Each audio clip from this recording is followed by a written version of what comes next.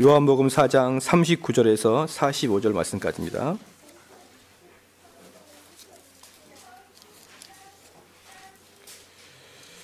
봉독하여 드리겠습니다. 여자의 말이 그가 나의 행한 모든 것을 내게 말하였다. 증거하므로 그 동네 중에 많은 사마리아인이 예수를 믿는지라. 사마리아인들이 예수께 와서 자기들과 함께 유하기를 청하니 거기서 이틀을 유하심에 예수의 말씀을 인하여 믿는 자가 더욱 많아 그 여자에게 말하되 이제 우리가 믿는 것은 내 말함을 인함이 아니니 이는 우리가 친히 듣고 그가 참으로 세상의 구주이신짐을 알미니라 하였더라. 이틀이 지남에 예수께서 거기를 떠나 갈릴리로 가시며 친히 증거하시기를 선지자가 고향에서는 높임을 받지 못한다 하시고 갈릴리에 이르심에 갈릴리인들이 그를 영접하니 이는 자기들도 명절에 갔다가 예수께서 명절 중 예루살렘에서 하시는 모든 일을 보았습니다. 아멘. 아, 우리 사마리아 여인은 예수님과 대화 이후에 예수님을 믿게 되었고 즉시 마을로 들어가서 그리스도에 관해서 다른 사람들에게 말하게 됩니다. 우리는 이걸 다 이제 배웠습니다. 그리고 이 이야기를 들었던 많은 동네 사람들이 그리스도로 그리스도에게 와서 많은 사람이 찾아와서 그리스도에게 자기들과 함께 유해 달라라고 간청했고 그 기간 동안에 또 다른 사람들이 많은 사람들이 믿었습니다. 그런데 이 말의 그 결, 결과는 어떻게 됐느냐? 42절 말씀이 그들의 결과는 것입니다. 그 여자에게 말하되 이제 우리가 믿는 것은 내 말을 인함이 아니니 이는 우리가 친히 듣고 그가 참으로 세상의 구주이신 줄 알미니라 하였더라. 그러니까 이 요한복음의 그 사마리아 이 여인의 사건의 핵심은 바로 이겁니다. 예수님이 구주라는 것이에요. 할렐루야. 예수님이 구세주라는 것입니다. 이 개념을 우리는 계속적으로 듣고 우리의 인식을 바꿔 나가야 되는 것입니다. 예수님은 우리의 구세주인 것입니다. 할렐루야. 예수님은 우리의 어시스트가 아니라 이겁니다. 우리를 돕는 자가 아니래요. 어떤 사람들은 그런 그러니까 이, 이 개념이 우리는 너무너무 중요합니다. 이 개념을 우리가 완전히 바꿔야지만 이게 진정한 그리스도가 어떤 뜻인 줄 아는 거예요. 예수님은 우리의 모자란 부분을 돕는 분이 아니시라 이겁니다. 그래서 제가 니고데모와 사마, 사마리아 여인을 비교하면서 니고데모가 가졌던 그 마음이 어떤 마음이었냐 그러면 나의 이 부족한 것을 채워달라는 게 니고데모의 마음이었다 이겁니다. 그래서 우리 성도들이 교회 나올 때 예, 나의 일이 있고 내 계획이 있고 내 삶의 방향이 다 이미 정해져 있는 나의 삶의 가치관이 이미 정해져 있고 그래서 누구도 이 삶의 가치관에서 터치할 수 없는 나만의 아주 그 인생의 철학을 가지고 있는 분이 자기의 인생을 나름대로 계획하고 자기의 인생을 열심히 살아가고 성공하면서 이 성공을 돕는데 예수님이 필요하다 이런 식으로 접근하게 되면 완전히 기독교를 왜곡하고 있는 거라 이 말입니다. 기독교는 예수님이 여러분을 돕는 어시스트가 아닌 것이에요. 기독교는 우리를 전폭적으로 구원하시는 구원의 역사인 것이지 그래서 예수님이 우리가 예수님의 종이 되는 것이지 예수님이 우리를 돕는 그런 어시스트나 종이 되는 게 아니라 이겁니다. 무슨 말인지 아시겠죠? 이 개념을 우리는 바꿔야 되는 것이에요. 이 개념이 바뀌지 않으면 계속적으로 기독교는 기복 종교에 머물 수밖에 없는 것이고 부처님 섬기는 거랑 똑같습니다. 우리의 삶의 계획, 우리의 삶의 방향, 우리의 성공, 우리의 소망, 이걸 돕는 게 예수님이 아니라 예수님의 소망, 예수님의 목표, 예수님의 가치에 나의 삶을 투입시키는 것이라 이 말이에요. 이 개념이 바뀌어 나가면 우리 삼성 제일교회는 정말 파워풀한 교회가 될 것입니다. 만약에 다음에 교인들이 전 늘어났을 때 그 교인들이 정신없는 사람들이 모여 있을 때 우리 기존에 있는 이, 이 성도들이 명확한 그리스도인의 가치관과 사역의 모습을 보여주면 아, 교인들은 이런 모습을 하고 살아야 되는구나 라고 말로 말, 보여주는 게 아니라 행동으로 보여줄 수 있다 이겁니다. 할렐루야. 저게 기독교인의 모습이구나. 저게 그리스도인의 모습이구나. 이게 우리들 몸에서 나타나야 되는 것이에요. 그런데 이걸 바꾸는 결정적인 것은 예수님은 나의 구세주입니다. 할렐루야. 예수님은 보혈의 핏값으로 여러분을 사셨습니다. 그래서 여러분의 인생은 나의 것이 아니라 우리의 인생은 누구의 것입니까? 예수님의 것. 에 이거 다시 한번 봅시다. 왜 이렇게 또, 예. 나의 인생은 누구의 것이다? 나의 인생은 내 것이 아니다. 이 고백이 그리스도인의 고백인 거예요. 나의 인생은 예수님의 것이다. 나의 인생은 그리스도의 것이다. 그래서 나의 나 된 것은 예수 그리스도의 은혜라. 그러면 우리의 인생을 주장하면 안 되는 것입니다. 사랑하는 성도 여러분, 여러분의 개인의 가치관, 자아개발, 자아실현, 이런 것들이 예수님이 원하신 것과 반대되는 경향이 있으면 그걸 포기해야 되는 것이에요. 오히려 자기 개발과 자기 실현을 위해서 예수님의 힘을 빌리려고 하지 마시고 나의 자기 개발과 자기 실현이 혹시 예수님에게 덕이 되지 않으면 포기하는 것입니다. 제게 다시 한번 주목해 보십시오. 만약에 우리 성도 여러분, 여러분의 직장이 너무 분주하여서 신앙생활 하는데 방해가 되면 신앙생활을 줄여야 될까요? 직장을 바꿔야 될까요?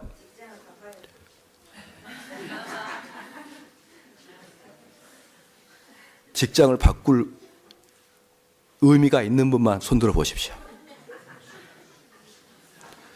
손 내리십시오.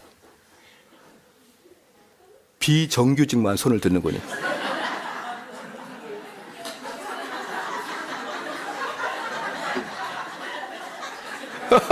아, 정규직이에요? 아, 정인수 권사님 정규직이에요. 죄송합니다. 자, 예, 네, 그만 웃으시고. 직장을 바꿀 수 있는 마음까지 있어야 되는 거예요.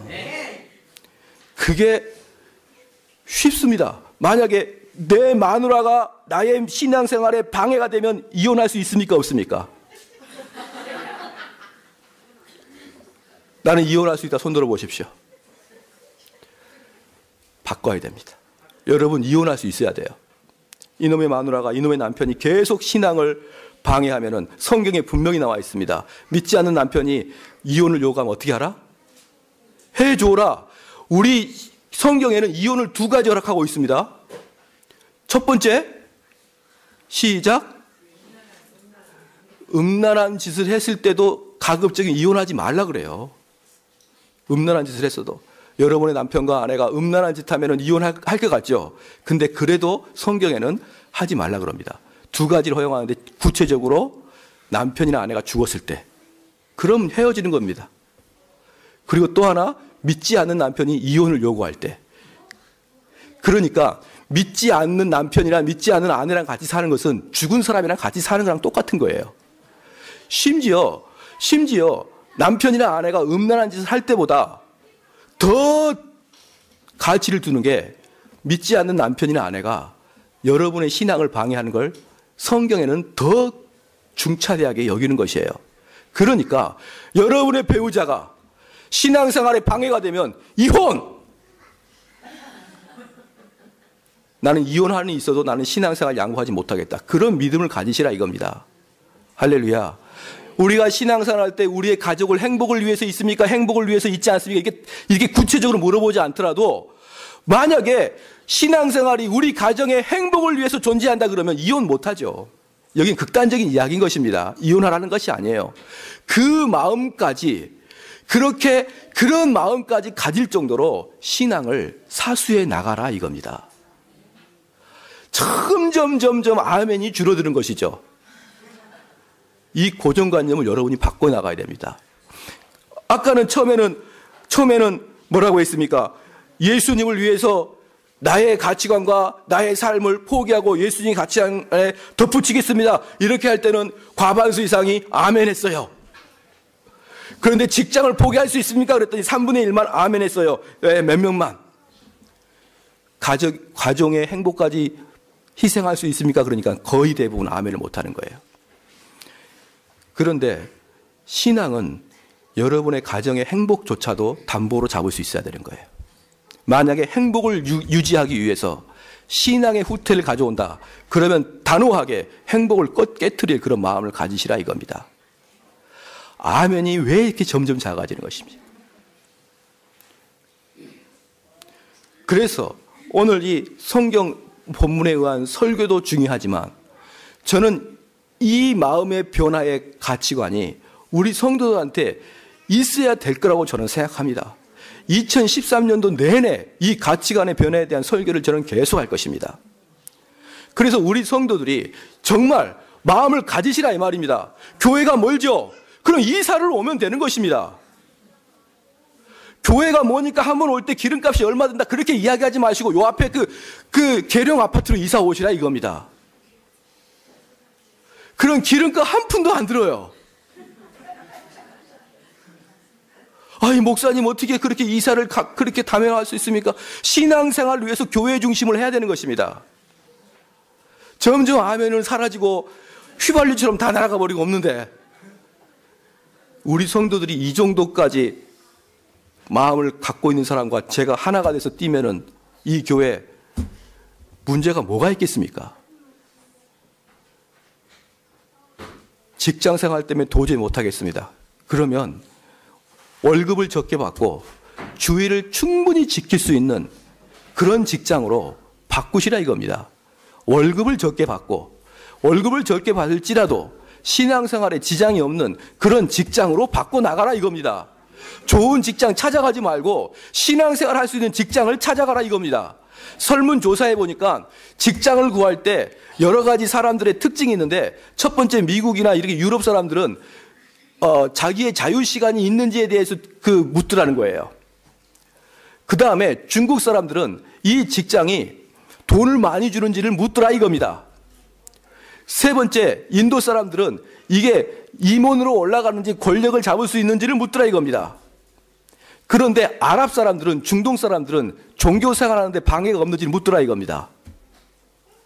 그리고 우리 성도들이 만약에 이 직장이 돈의, 돈의 우선순위에 가장 많이 둔다 그러면 사실은 우리가 중국 사람 욕하지만 중국적인 멘탈리티와 다를 바가 하나도 없는 것이에요. 우리의 직장은 신앙생활하는데 방해가 되는 직장을 가지면 안 되는 것입니다. 왜 아멘이 점점 줄어드는 겁니까? 이거 설교 진도가 안 나가고 계속 뱅뱅 잡아도는 거 모르십니까? 여기에 동의를 하셔야 되는 거예요. 우리가 직장 생활이 신앙 생활에 방해가 되면 직장 때려치고 다른 걸, 다른 직장을 가지라 이겁니다.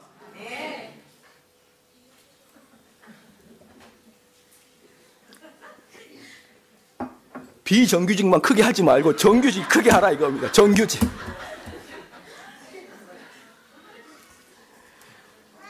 직장 때문에 교회 못 나오네. 직장 때문에 주일날 빨리 가야 되네. 이런 이야기 하지 마십시오. 그건 변명거리가 안 됩니다.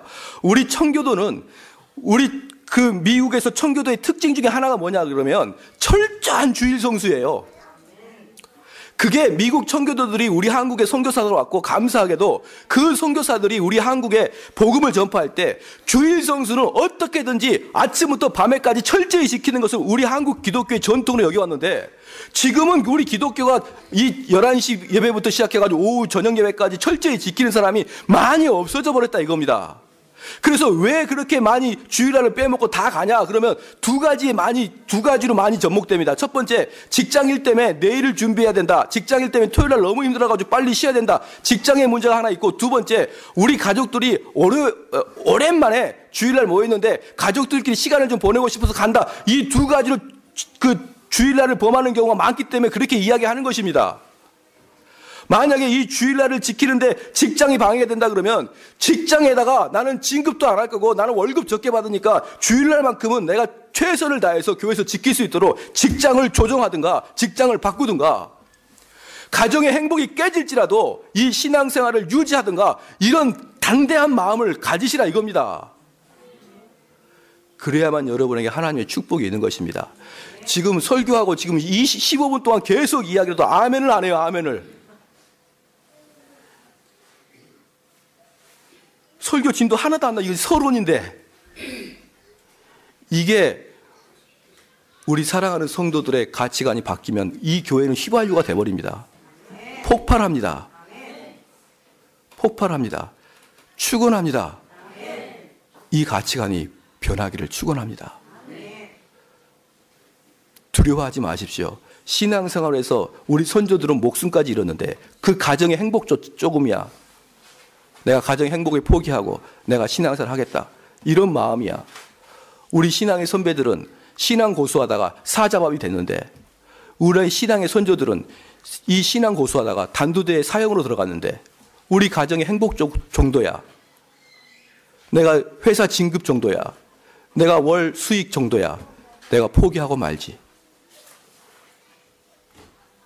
저는 이런 교회가 돼야 된다고 생각하고 이런 교회가 정말 청교도가 추구하는 교회가 아닌가 그런 생각을 해보는 것입니다. 자, 여기서 요한복음 그 사장에서 이 이제 예수님께서 세상의 구주로 오셨는데 사장 42절에 세상의 구, 주라고 이렇게 이야기했습니다. 예수님은 세상의 구주이십니다. 여기 설교할 때는 주목해 주십시오.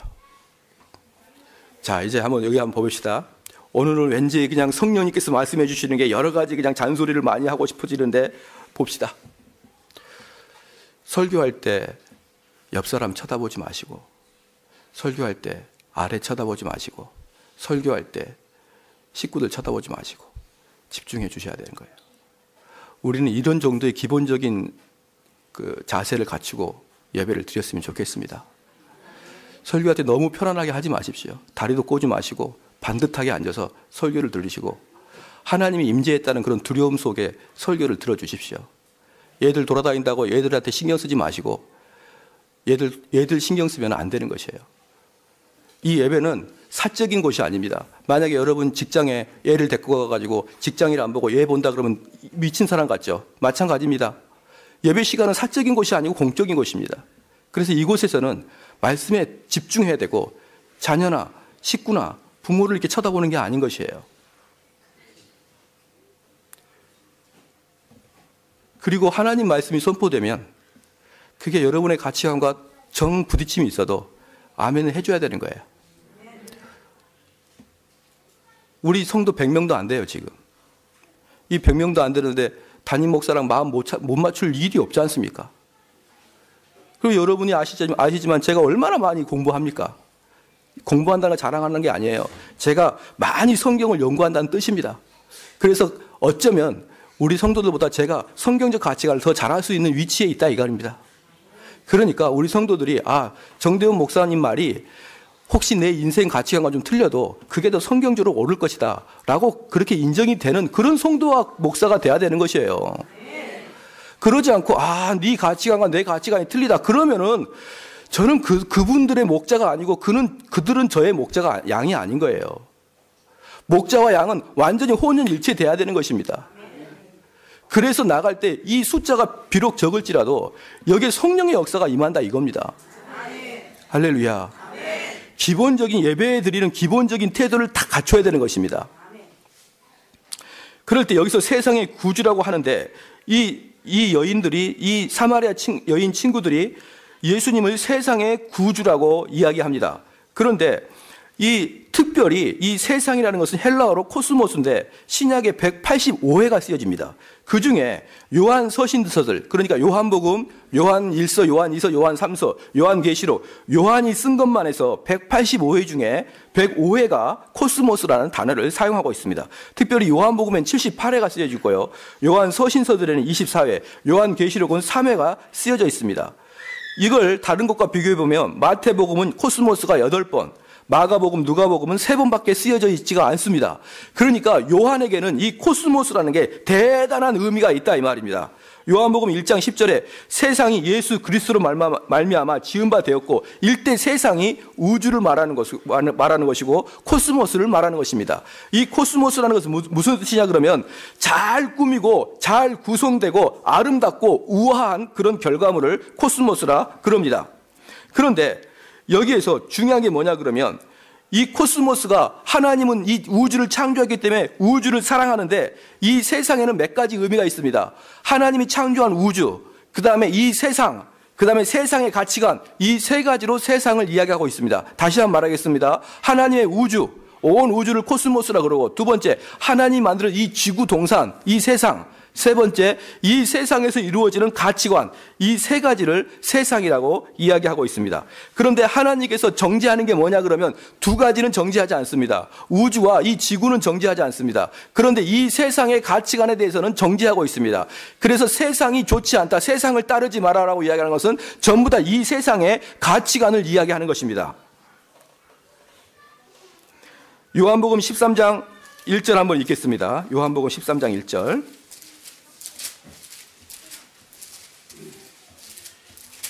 요한복음 13장 1절. 시작. 6월절 전에 예수께서 자기가 세상을 떠나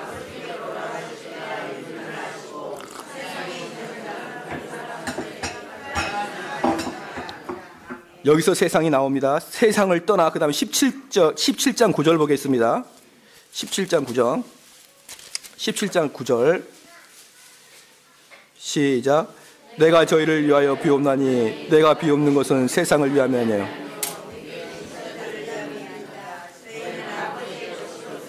자, 여기서 매우 중요한 이야기가 나옵니다. 17장 9절에 내가 저희를 위하여 비옵나니 내가 비옵는 것은 세상을 위함이 아니라 그랬습니다. 그러니까 예수님께서 오셔서 예수님의 그 돌아가심은 전 인류를 위해서 돌아가셨지만 예수님께서 돌아가신 이유는 전 인류를 위해서 돌아가셨지만 실질적으로 예수님께서 돌아가신 이유는 모든 사람을 위해서 돌아가시진 않았어요. 온 인류를 위해서 돌아가시긴 했지만 어쨌든 모든 사람을 위해서 돌아가신 것은 아닌 것이에요. 여기에 분명히 17장 9절에 선택 교리가 분명히 나와 있습니다. 내가 너희를 위하여 비옵나니 내가 비옵는 것은 세상을 위함이 아니요 내게 주신 자를 위함이다. 하나님께서 예수님에게 특별히 그 주신 사람이 있습니다. 하나님께서 예수님께 특별히 그 주신 사람, 그 사람만을 위해서 예수님은 돌아가셨다 이겁니다. 할렐루야. 그래서 이 세상을 다 사랑한다. 이건 잘못된 것이에요. 예수님은 이 세상을 위해서 돌아가신 게 아니라 선택된 자를 위해서 돌아가셨어요.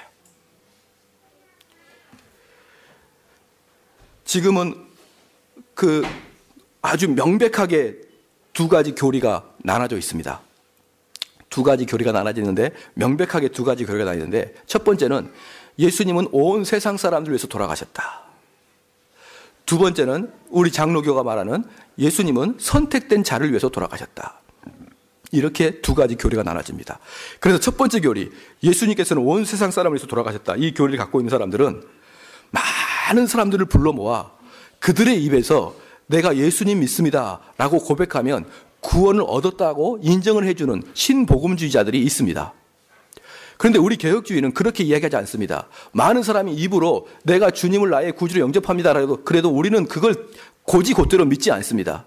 왜냐 그러면 내가 입으로 시인한다 그래도 그게 선택됐는지 안 됐는지는 모르는 일인 것입니다. 왜냐하면 예수님께서는 선택된 자를 위해서 돌아가셨기 때문에 그렇습니다. 그래서 우리 개혁주의자는, 개혁주의자들은 우리 성도들의 삶에 구원에 받는 확증이 있어야 그 사람이 구원됐다는 것을 확증하는 것이에요. 그런데 복음주의자들은 그 사람들에게 구원의 모습이 나타나지 않고 구원받는 사람의 그 도리가 나타나지 않음에도 불구하고 입으로 주를 시인하고 교회를 다니면 대체적으로 구원받았다라고 인정을 해주는 경향이 있다 이겁니다. 근데 저희 개혁주의는 그렇게 하지 않습니다. 선택된 자만이 구원을 받는 사람이고 모든 사람이 이 교회에 많이 있을지라도 선택된 자는 구원의 열매를 맺게 맺어 나간다 이 말입니다.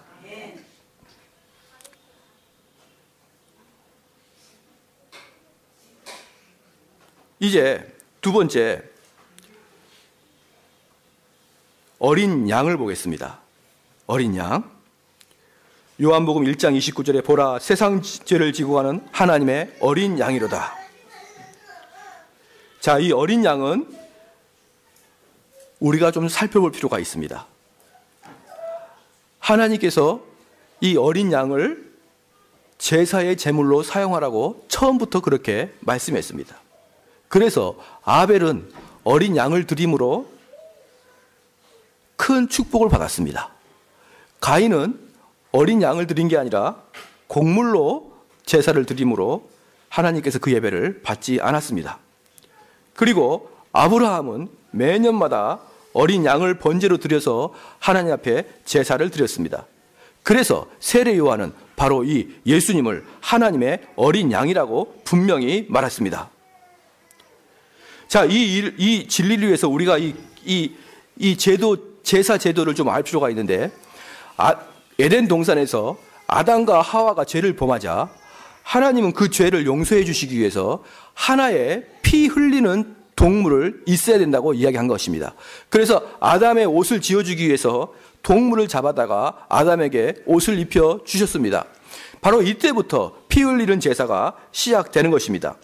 그래서 아벨은 히브리서 11장 4절에 아벨은 그 의롭게 제사를 드렸는데 그 의로운 제사가 뭐냐 그러면 하나님이 정해주는 그 피 흘리는 제사를 했기 때문에 의롭다고 판단했습니다. 가인은 아름다운 제물을 드렸다고 할지라도 피 흘림의 제사가 없었기 때문에 가인의 제사는 거절된 겁니다. 그래서 수천 년 동안 한 명이 죄를 지면 한 마리의 양이 잡아 잡았어요. 그러니까 우리 성도들이 만약에 여기서 100명이면 이 성도들이 연말에 송구영신 예배 때 이럴 때 제사를 드리는 것입니다. 나의 1년치 그 죄를 하나님 앞에 송두리째 태우도록 제사를 드리는 것입니다. 그럴 때 우리가 나올 때 한 마리의 생명을 잡아야 되는 거예요. 1인당 한 마리의 생명을 잡아야 됩니다. 그리고 시간이 흘렀습니다. 시간이 흐르고 이제 이스라엘 사람들이 유다 사람들이 예굽의 포로로 잡혀갑니다. 포로로 있다가 그 종로로 하다가 그 나중에 출애굽할 때 우리가 기억해 보십시오. 출애굽할 때 이 유대 사람들에게는 하나님께서 이렇게 명령했습니다. 양을 잡아가지고 자기의 문설주에 바르라고 했습니다. 그랬더니 이 그 한밤중에 예굽의 모든 장자가 죽을 때 그때 문설주에 양의 피를 발랐던 그 집은 이렇게 전부 다 어, 살아 있습니다. 그래서 6월절이란 6월절이 몇 월이냐? 그러면 사람들이 6월달 그러는데 6월달이 때문에 6월절이 아니라는 것을 우리는 알아야 돼요. 저도 한동안 6월달이 6월절인지 알았어요. 근데 6월절은 무슨 뜻인가요? 시작. 예. 우리가 영어로 표현하면 너무 쉽습니다. 패스 오버입니다. 패스 오버. 6월. 넘다. 한문은 넘다. 그래서 그 어린 양의 피를 발라놓은 사람들은 넘어버립니다. 그래서요, 처음에는 어, 한 사람들이 한 명의 양을 잡아야 죄가 사해졌는데 시간이 지나고 보니까 이제 한 가족의 한 양을 잡았을 때 그게 패스 오버가 되는 거예요. 그러니까 이 양의 개념이 한 마리에서 이제 한 가족당 한 마리로 확장이 되는 것입니다. 그 다음에 이 이제 예굽을 탈출하고 시내산 기슭에 올라왔을 때입니다. 예굽을 탈출하고 시내산 기슭에 올라왔을 때 하나님께서 거기서 율법을 주셨습니다. 그 율법을 주셨을 때 그 율법 속에는 어떤 게 있냐면 대속죄, 대속죄에 대한 이야기가 많이 나옵니다. 여러 가지 이야기가 나오는데 이 대속죄는 1년에 한 날 대제사장이 백성들을 위해서 그 지성소에 들어갑니다. 지성소에 들어가게 되면은 이 그, 그, 뭡니까? 언약계, 언약계 앞에 두 그룹이 딱 서 있어요. 이렇게. 그룹이 서 있는데 그 그룹 사이에 어린 양을 목을 따서 거기다 피를 흘리는 것입니다. 누가 하는 것이죠? 대제사장만 하는 것입니다. 다른 제사장이 아니라 대제사장만 1년에 한 차례씩 그 언약계 앞에서 피를 흘리는 것입니다. 그러면 그 언약계에 피를 흘리면 그 1년의 죄가 모든 이스라엘 사람들의 1년의 죄가 다 용서가 되는 거예요. 그러니까 지금 어린 양이 어떻게 확장되고 있습니까? 처음에는 한 명당 한 마리였죠. 근데 두 번째는 가족당 한 마리였습니다. 이제 시내산에서 율법을 받은 이후에는 한 민족당 한 마리로 변한 것입니다. 이게 점점점 확대가 되는 게 보시지, 보이지 않습니까? 바로 그런데 예수님께서 그 대속죄의 어린 양인데 하나님의 어린 양인데 이제 그 예수님은 한 명, 한 가족, 한 민족이 아니라 온 세상을 위해서 대속됐다 이 말이에요. 그래서 이 진행 과정을 이걸 바로 구원의 구원의 역사를 보는 구속사라고 그러는데 이 구속사석 관점에서는 예수 그리스도가 이 온 인류에 퍼져 있는 선택받은 사람들을 위해서 대신에 돌아가셨다 이 말입니다. 그리고 하나 더 보겠습니다. 우리는 종료주의를 볼 수가 있습니다.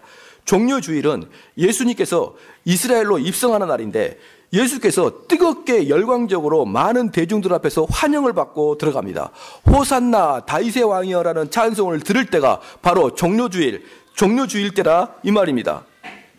예수님께서는 그 환호를 했던 사람들이 며칠이 못 가서 예수님을 죽이는데 찬성하고 예수님을 비웃은 사람으로 다 돌변하는 것을 그들은 경험할 것입니다.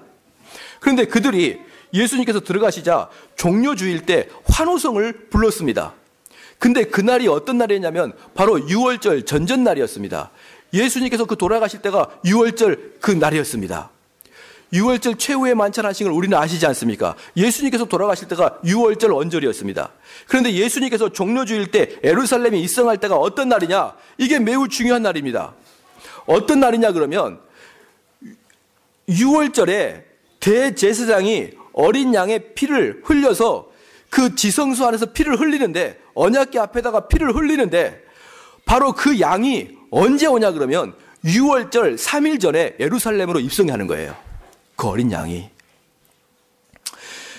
이스라엘 사람들의 모든 죄를 대속해서 죽을 흠없고 아무 흠없는 1년짜리 어린 양이 입성하는 날이 바로 6월절 3일 전. 그 입성하는 날이 6월절 3일 전인데 바로 그 날에 예수님이 예루살렘을 입성하는 거예요. 그러니까 예수님은 와 인류를 대신해서 죽을 어린 양이라는 것을 예수님의 삶에 다 나타내 보여주신 것입니다. 그럴 때 많은 사람들은 자기가 그 뜻을 정확하게 알았는지 몰랐는지 몰라도 자기들의 죄를 대신해서 죽을 그 어린 양이 들어오자 많은 사람들이 자기도 모르게 환호한 것이에요. 야, 저, 저 어린 양, 흠없고 깨끗한 저 어린 양을 잡아서 우리의 죄가 사해지는구나. 예수님께서는 그 어린 양으로 6월절에 예루살렘에 입성했던 것입니다.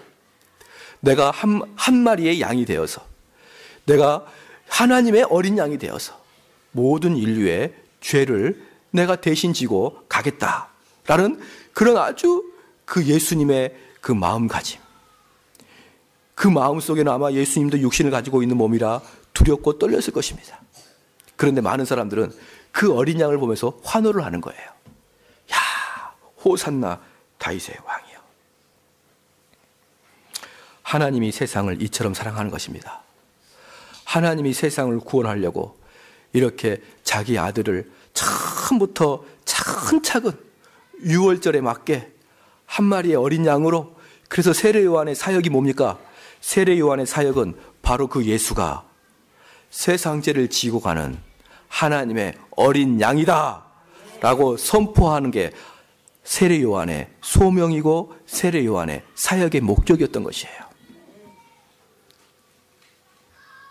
사랑하는 성도 여러분, 세례 요한이 왜 훌륭하냐 그러면 다른 걸 다 떠나서 세례 요한은 하나님이 이 땅에 자기를 보내주신 이유를 분명히 알았습니다.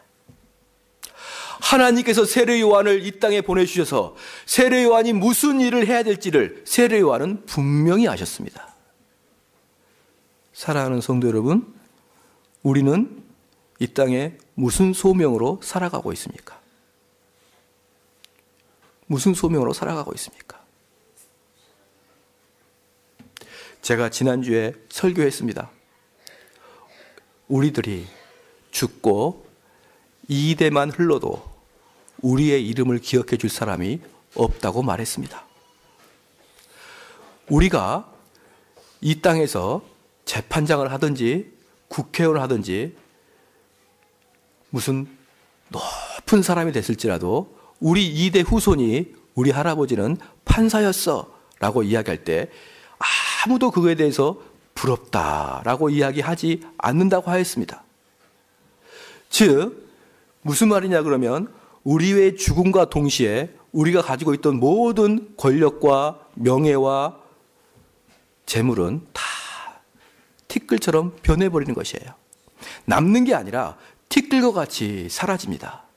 우리의 육체가 썩어서 티끌처럼 연기처럼 사라져 버리듯이 우리가 가지고 있던 모든 이런 거추장스러운 그 명예와 권력과 이 계급장들은 우리가 죽음과 동시에 티끌처럼 사라집니다. 그러나 하나님을 믿는 그 믿음은 하늘의 별처럼 영영이 반짝인다 그랬습니다. 할렐루야. 이게 얼마나 중요한 건지 모릅니다. 우리는 그리스도인들로 살아갈 때 이 땅에서 소명의식을 분명히 가지고 살아가야 되는 것입니다. 예수님께서 나를 이 땅에 왜 남겨두셨는지 이 의식을 분명히 가지고 살아가야 되는 것입니다. 그럴 때 나중에 하나님께서 충성된 종이라고 우리를 칭해 주시는 것입니다. 저는 주변에서 저는 고민이 있어요. 다음에 제가 닥쳐보면 그 일을 할지 안 할지 모르겠지만 부모님이 죽으셨, 죽으시기 직전입니다. 그런데 부모님께서 뇌사 상태에 빠졌어요. 뇌사 상태에 빠졌는데 그 부모님을 빨리 보내드릴 수 있을 것인지 아니면은 산소 호흡기를 꽂고 계속 그 생명을 유지해 나가야 될 것인지에 대한 그런 딜레마가 있는 것입니다. 우리 성도들은 어떻게 하겠습니까? 어머님과 아버님이 이제 돌아가시기 직전인데 조금이라도 더 붙들고 싶습니까? 아니면은 안녕히 가십시오 하면서 산소통을 뛰겠습니까? 뭐 여러 가지 뭐 재정적인 문제도 있고 뭐 이러면서 어, 어떻게 하시겠어요? 근데 저는 이런 궁금증이 있습니다. 그렇게 생명을 연장하는 게 의미가 있느냐 이 말입니다. 100년 전, 전만 해도 이미 옛날 죽은, 죽은 사람의 목숨인 것이죠. 제가 왜 이 말을 하냐 그러면요. 그렇게 살아가는 게 삶의 의미가 있느냐 이 말입니다. 삶이라는 것은 의미를 가지고 있는 삶이 진짜의 삶인 거예요. 그래서 우리 성도들도 삶도 마찬가지입니다. 우리 성도들의 삶에 의미가 있으려 그러면 어떤 의미가 있어야 되냐 그러면 하나님 앞에 인정받는 삶을 살아가는 게 의미 있는 삶인 것이에요. 내가 하나님께 인정받지 않고 사람들로부터 인정받고 내 스스로 인정하는 그러한 삶은 영적으로 죽어 있는 세상 사람도 그러한 삶을 살기 위해서 열심히 달려가고 있습니다. 영적으로 죽어 있는 영적인 시체, 세상 사람들, 지옥에 갈 사람들, 영원히 망할 사람들, 죽음과 동시에 다 무로 돌아갈 그런 사람들의 삶을 살아가는 것은 사실은 영적으로 보면은 죽어 있는 것을 여, 여, 여전히 생명을 연장하고 있는 것밖에 안 되는 것입니다. 그런데 우리의 삶은 그러한 삶이 아니라 하나님으로부터 인정받는 삶을 살아야 되는 것입니다.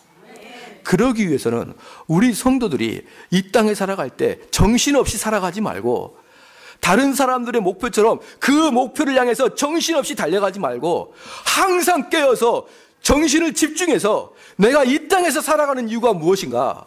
내가 하나님 보시기에 올바른 삶이 무엇인가를 항상 점검하는 삶을 살아가야 된다 이겁니다. 그냥 정신없이 남들과 동일하게 살아가면 절대로 안 됩니다.